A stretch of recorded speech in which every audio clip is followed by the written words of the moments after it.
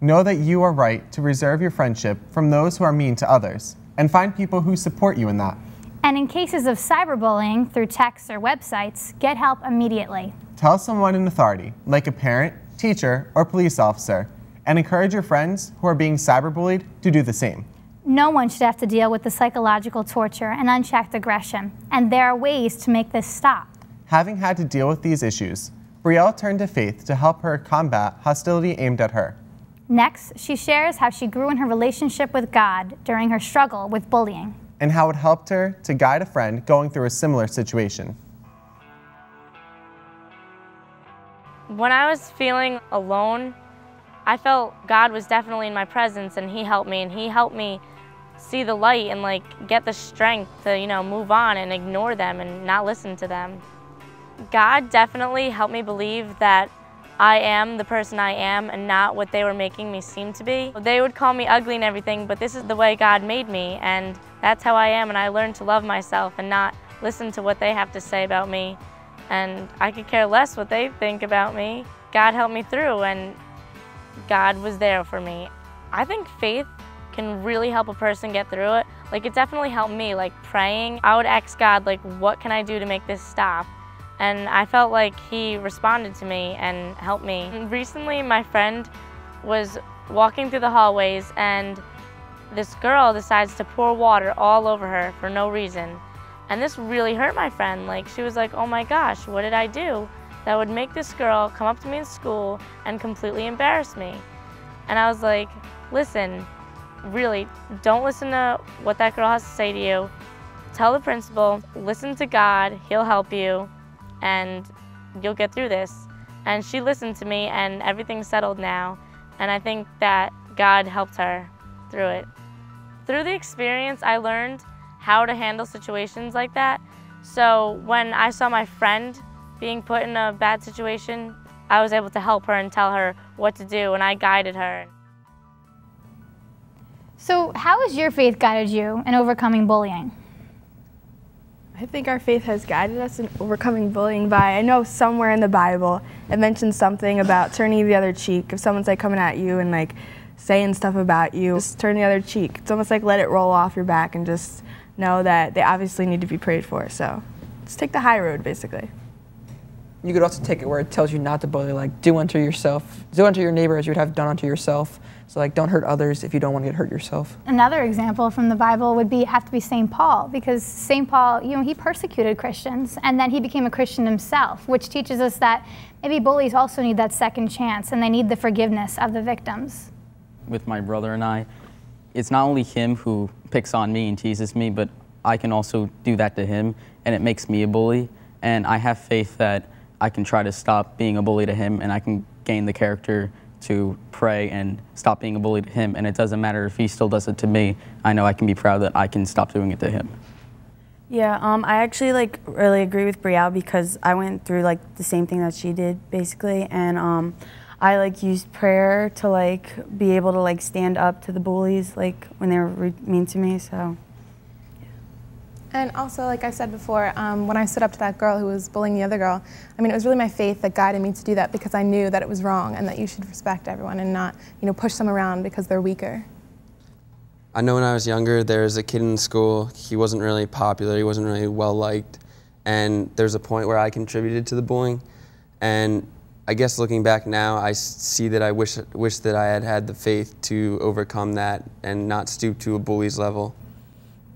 In Paul's first letter to the Thessalonians, he writes We urge you, brothers, admonish the idle, cheer the faint hearted, support the weak, be patient with all. See that no one returns evil for evil. Rather, always seek what is good for both each other and for all. When anyone is treated poorly for any reason, whether because they are different or because they think differently, whether they can be regarded as weak in some way or just because a bully finds them easy to pick on. Bullying is wrong and goes against God's ideas for humanity. Next, we ask the teens on the street how faith helped someone being bullied. Let's check it out. Someone's religious faith can help them if they are being bullied by asking God what to do if they don't know what to do in that type of situation. If they don't know to walk away, then they can ask their parents or friends for advice on what to do and either maybe even talk to that person too about how to make them stop. God will lead you through, I guess. Bullies will have their day when God understands where they're coming from and they're going to see the light too. Well, they can just pray and like just go with what they feel they should do. If you pray, I'm sure God will help you through that way. Just look to God and uh, know He's there. Well, I mean, if you have faith, you know, it's like it's if you want to have faith in yourself and faith in what you believe in, and it's just it's kind of a form of support for you. Faith is like something you can believe in and hold on to. It's something that's like real and like it's inside, you know. I guess faith just shows you how to be a good person, and then that you don't have to bring other people down to make yourself feel better about yourself. They can just always believe that some someone's gonna help them, like their life is okay. When people are getting bullied, they got to look at the whole story of Jesus Christ, because how you know what I mean, how he took the uh, physical and emotional beatings and just conspired to go on and become a huge, a huge impact. So, what are some ways we can use faith to confront bullying, not only in school but outside of school as well? Well, we can really think about what is really right and what God would want us to do, and just think about His plan for us and how to carry it out to do the right thing. Mm-hmm.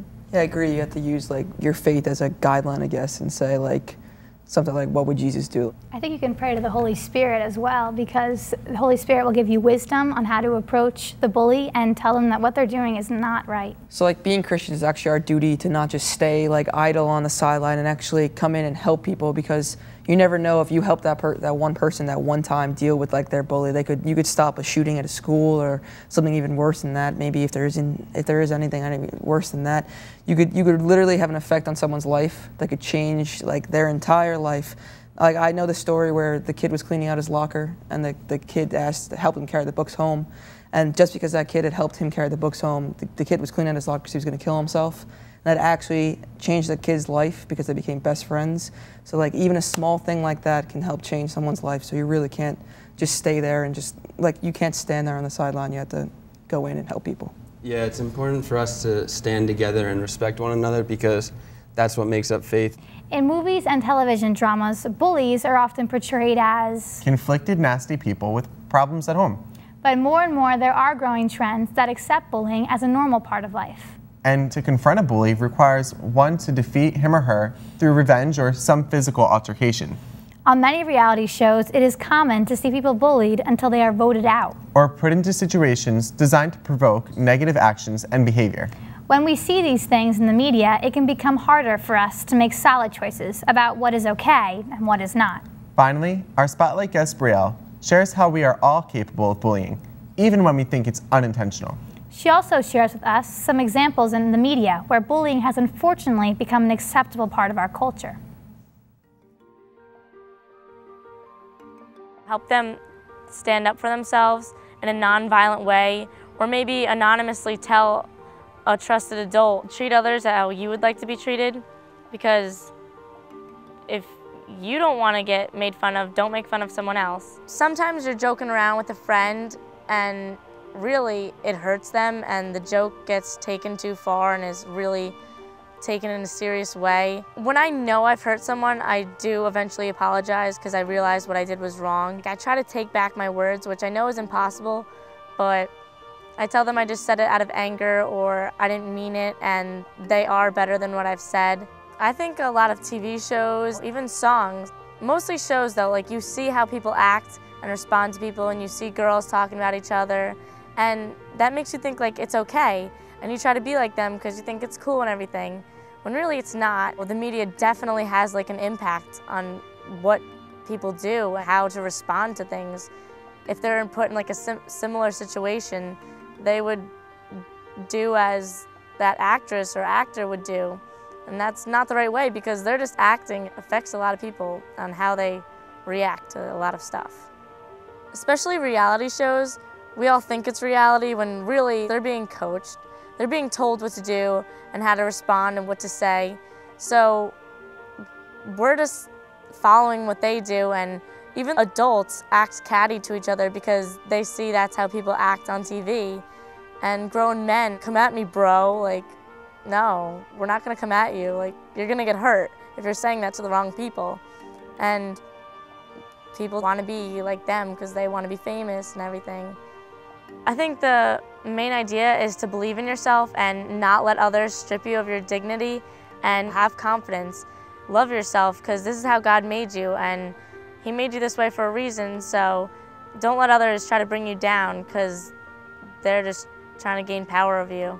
It's not worth it and you're not worthless. Just believe in yourself and you'll overcome them. I totally agree with Brielle, as she was saying. Like, sadly, today in our society, like, people find bullying funny. Like, when they see it on TV, there's all those, like, reality shows and stuff, and it's like, oh, did you see that episode when they were, like, the one girl was saying that about the other girl? And it's like, people find that funny, but sadly, it's not. So, I think we need to change that. I have to agree. I, I think society tends to, like, go more towards things that, like, it might be funny for the, like, people that are watching, but it hurts the people that it's, like, affecting. So sometimes, like, they'll like make fun of a single person just to get their ratings up, and they really shouldn't do that because it does affect that single person, and it might actually make the people that are getting bullied in real life feel worse because they can relate to that person, you know. It's also creating like a bad influence because people see that they're acting this way and they think it's okay, but it's really not because they're just making it up, and it's just to get, like you said, more viewers or just make it look better, but it's just not right. We also have to remember as like Christians and everything, we're called to stand up for what we believe and maybe stand up for others and what they believe in and try and like stop bullying. And also as children of God, we have every responsibility to treat others as we want to be treated. And to demand the respect our personal dignity deserves. We also have the responsibility to do as St. Paul wrote in his letter to Ephesians chapter 4.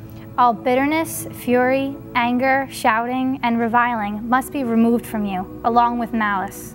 Be kind to one another, compassionate, forgiving one another, as God has forgiven you in Christ. Bullies also need to be shown compassion and forgiveness. Often their bullying does come from their own deep wounds. And our challenge as Christians is to have compassion, even for those who don't seem to deserve it. Who knows? Your kindness might just be what makes someone change their bad behavior and become a great friend. So, in what ways are you helping others to overcome bullying in their lives? We'd love to hear from you. Contact us at realfaithtv.com. Or follow us on Twitter. And we'll leave you with this passage from Paul's second letter to Timothy. For God gave us a spirit, not of fear, but of power and love and self control. So let's not abuse our power and always act with love. Thanks for watching. We'll see you next time on Real, Real Faith, Faith TV. TV. God bless.